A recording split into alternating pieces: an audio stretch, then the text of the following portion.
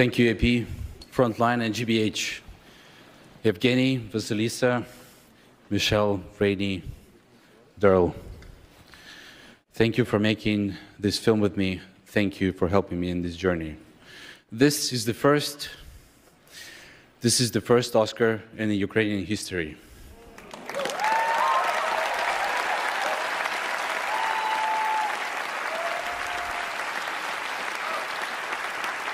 And I'm honored.